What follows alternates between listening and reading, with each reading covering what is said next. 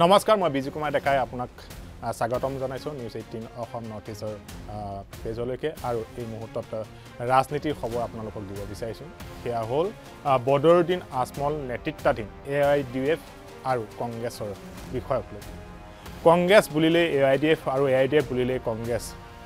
লোকসভা নিৰ্বাচনৰ প্ৰাক মুহূৰ্তত এই দুয়োটা বিৰোধী দলৰ মাজত খোৱা কামোৰাৰ কথা অবেদিত নহয়। সকলো ৰাইজ সকলো ভোটাৰ ৰাইজে এই বিৰোধী দুই ৰাজনৈতিক দলৰ মাজৰ খোৱা কামোৰা তৰ্কাতৰ্কি যুদ্ধ বিগ্ৰহ মুখ চুপতা চুপতি এই গোটেই বিষয়সমূহ লৈ আপোনালোকে টিভিৰ পৰ্দাত দেখি আহিছে। এতিয়া কথা হ'ল আজি বৃহস্পতিবাৰৰ দিনটোত বদৰুদ্দিন আজমলে পুনৰ কংগ্ৰেছক টাৰ্গেট কৰি ল'লে।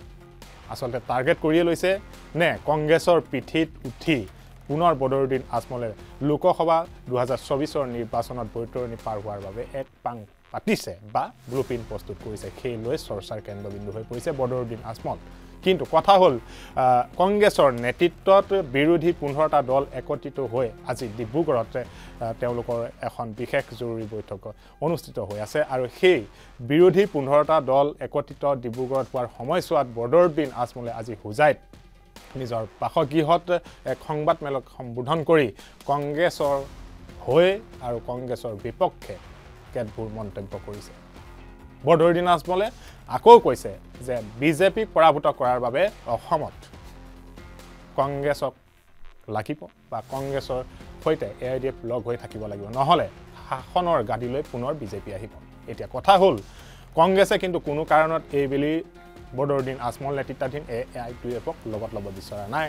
এ আই ইউ ডি এফক বিশ্বাসঘাতক দল আজমলক বেপাৰী দল এনেধৰণৰ আখ্যা দি বদৰুদ্দিন আজমলক কোনো কাৰণত এই বিৰোধী ঐক্য মঞ্চত প্ৰৱেশ কৰিব দিব বিচৰা নাই। আৰু সেই বিষয়ক লৈ পেলাই ইতিমধ্যে এ পি চি চিৰ সভাপতি ভূপেন বৰাই বিভিন্ন সময়ত আজমল আৰু তেওঁৰ দল এ আই ইউ ডি এফক কঠোৰ সমালোচনা কৰি আহিছে।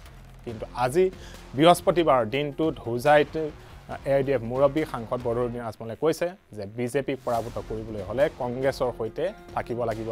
এ আই ডি এফ বা এ আই ডি এফো থাকিব লাগিব কংগ্ৰেছৰ সৈতে।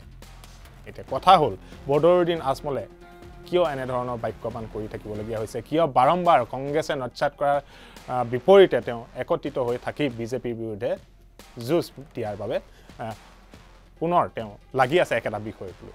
বদৰুদ্দিন আজমলে এই বিষয়ক লৈ পেলাই আজি বৃহস্পতিবাৰ দিনটোত হোজাইত কি ক'লে? চাওঁ। যদি ঠিক আছে দেৰ আয়াত দুৰুস্ত আয়াত। দেৰি হ'লেও যদি বুজত পৰে সেইটো কি হ'ব নহ'ব আমি ক'ব নোৱাৰোঁ। মই শুনাও নাই। যদি সিসকলৰ ভিতৰত কিছুমান হোৱা বৰদুত বৰদলৈ হওক গৌৰৱ গগৈ হওক সিসকলে যদি চিন্তা কৰে যে অসমৰ পৰা বিদায় দিয়াৰ কাৰণে বিজেপি আৰু এক হ'ব লাগে এইটো এটা ভাল চিন্তা। আমি ৱেলকাম কৰি আছোঁ। যদি আপোনালোকৰ লগত মিলি যায় মিলি যোৱা না যুদিৰ ওপৰত নাই যিদিন হ'ব সেইদিন মন্তব্য দিম আজি যুদিৰ ওপৰত কি দি পেলাবা এই ভূপেন বৰাই না না ভূপেন বৰাই ৰাতিপুৱা উঠি গালি আৰম্ভ কৰি দিব মোৰ খানদানক লৈ গালি দিয়ে এইটো পলিটিক্স নেকি ইমান নিম্নত যাব নালাগে পলিটিক্সৰ একটা হৎ স্তৰ থাকিব লাগে এই মানুহজনক ক'ৰ পৰা উঠাই আনিছে কংগ্ৰেছে আমি নাজানো জংলী মানুহ মতলবীসকলে ভাল চিন্তা কৰি আছে যে বিজেপিক অসমৰ পৰা ৰোধ দিব কৰিব লাগে যদি হয় আমি এক হ'ব লাগে এইটো ভাল কৰিছে। আমি ছয় মাহৰ পৰা যিটো কৈ আছোঁ যিটো ৰূপত বিপুন বৰাই বুজা নাই ৰিপুণ বৰাই বুজা নাই আৰু কেউ কেউ বুজা নাই যদি দুইজনে বুজিছে এইটো ভাল। এটা ভাল লক্ষণ আছে। ধুবুৰী কৰিমগঞ্জ আৰু নগাঁও এই তিনিটা সমষ্টিত এ আই ডি এফে প্ৰাৰ্থিত্ব দিব বুলি আজি বৃহস্পতিবাৰ দিনটোত হোজাইত বদৰুদ্দিন আজমলে সদৰি কৰিছে। বাকী যিসমূহ আসন আছে সেই বাকী আসনসমূহত কংগ্ৰেছে প্ৰতিদ্বন্দ্বিতা কৰিব আৰু কংগ্ৰেছে প্ৰতিদ্বন্দ্বিতা কৰিলে এ আই ডি এফে তাত সহায় কৰিব। আৰু প্ৰথমে কংগ্ৰেছে প্ৰাৰ্থী তালিকা ঘোষণা কৰাৰ পিছতহে এ আই ইউ ডি এফে প্ৰাৰ্থী তালিকা ঘোষণা কৰিব বুলি সদৰি কৰা হৈছে। কিন্তু কংগ্ৰেছলৈ এই অহৈতুক প্ৰীতি কিহৰ কাৰণে? বদৰুদ্দিন আজমলৰ বদৰুদ্দিন আজমল আচলতে কাৰ হৈ কাম কৰে এই বিষয় লৈ পেলাই ৰাজ্যৰ ৰাজনীতিত দৰ্শকৰ মাজত ৰাইজৰ মাজত প্ৰশ্নৰ অৱতাৰণা হয়। বদৰুদ্দিন আজমল আচলতে। নিজৰ ৰাজনৈতিক এই যি অংক ব্লু প্ৰিণ্ট সেই অংক কেৱল মাত্ৰ কংগ্ৰেছৰ পিঠিত উঠিয়েই ৰাজনৈতিক বৈতৰণি পাৰ হ'বৰ কাৰণে চেষ্টা কৰি আছে নেকি? সেয়া এটা ডাঙৰ বিষয়।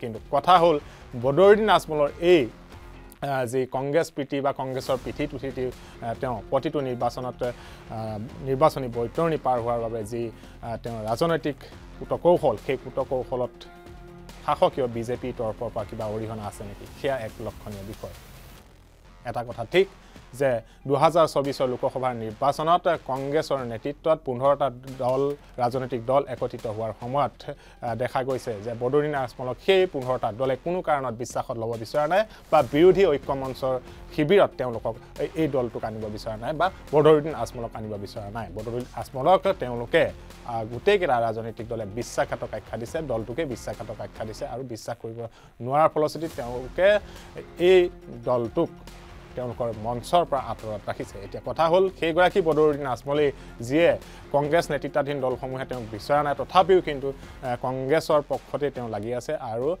কংগ্ৰেছে প্ৰাৰ্থীৰ তালিকা ঘোষণা কৰাৰ পাছতহে তেওঁ নিজৰ দলৰ প্ৰাৰ্থীৰ তালিকা ঘোষণা কৰিব বুলি সদৰি কৰিছে। আৰু বিজেপিক পৰাভূত কৰাৰ বাবে পুনৰ তেওঁ কি ক'লে? আজি বৃহস্পতিবাৰ দিনটোত হৈছে শুনক। এইবাৰো যদি নলয় তো সেইসকলে কৰিব পাৰে। হ'লে এইবাৰ কংগ্ৰেছ আৰু আমাৰ কমচে কম পলিচিটো ঠিক হৈ যায়। তে বিজেপিয়ে পাঁচটা ছয়টাৰ ওপৰত যাব নোৱাৰিব শেষ হৈ যাব। চব পেইড কংগ্ৰেছী লিডাৰ নহয় অসমত চব paid servant doctor Himanta Biswa Sarma? B team নহয় বিজেপিৰ এ টিম এতিয়া আমি ক'ব লাগে কংগ্ৰেছ কংগ্ৰেছে বিজেপিক চলাই আছে। ডক্টৰ হিমন্ত বিশ্ব শৰ্মাক চলাই আছে। হেমন্ত কৈ দিছে এনি হাও আজমলৰ লগে বুজাবুজি হ'ব নালাগে। কেনে সি জিকিব লাগে। এই এঘাৰটো চিট পাব লাগে। যদি এইসকলে ভুল কৰিও। ইউ ডি বুজাবুজি কৰে তে এঘাৰ চিট নহ'ব মাত্ৰ পাঁচটা বেছি বেছি পাব বাকী কংগ্ৰেছে আৰু আমি লৈ ল'ম। এ আই ডি এফৰ মুৰব্বী বদৰুদ্দিন আজমলৰ এই ৰাজনৈতিক অংক নিৰ্বাচনী বৈতৰণি পাৰ হোৱাৰ বাবে তেওঁ যি বিগত নিৰ্বাচনসমূহতো কৰি আহিছিল সেই একেটা ফৰ্মুলাতে এইবেলিও তেওঁ আহ, লোকসভাৰ নিৰ্বাচনত কৰাৰ বাবে যি ব্লুপ্ৰিণ্ট প্ৰস্তুত কৰিছে সেইটোৰ সন্দৰ্ভত আজি বৃহস্পতিবাৰ দিনটোত মন্ত্ৰী জয়ন্ত মল্ল বৰুৱাই কংগ্ৰেছ আৰু এ আই ডি একেটা মুদ্ৰাৰ ইপিঠি সিপিঠি আৰু তেওঁলোকৰ মাজত গোপনে হ'লেও বুজাবুজি আছে বুলি দাবী কৰিছে। মন্ত্ৰী জয়ন্ত মল্ল বৰুৱাই কি ক'লে শুনক। কংগ্ৰেছৰ ঔৰসত জন্ম হোৱা দল হ'ল এ ইউ ডি এফ। গতিকে কংগ্ৰেছ আৰু এ ইউ ডি এফৰ মাজত এই আপোনালোকে যিবিলাক মিত্ৰতা হৈছে নহৈছে এইবিলাক কথা কৈ আছে এইটো প্ৰকাশ্য হৈছে বা নহৈছে এইটো ডাঙৰ কথা নহয়। তেওঁলোক অতীজৰে পৰা মিত্ৰ আৰু ভৱিষ্যতেও মিত্ৰ হৈ থাকিব। মুঠতে বিশ্বাস আৰু অবিশ্বাসৰ ৰাজনীতিয়ে ধুঁৱলি কুঁৱলী কৰি তুলিছে এই মুহূৰ্তত লোকসভা নিৰ্বাচনৰ আগমুহূৰ্তত।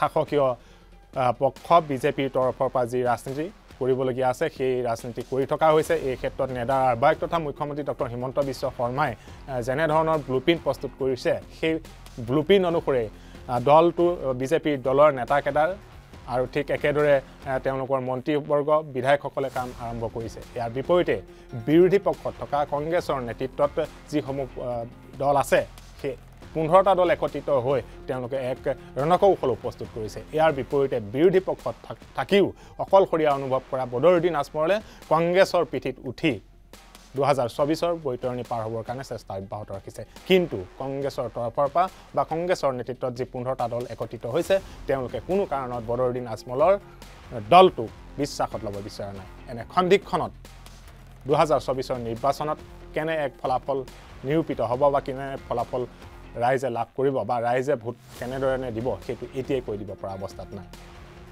ৰাজনীতিৰ খবৰলৈ এতিয়ালৈ ইমানেই। নমস্কাৰ।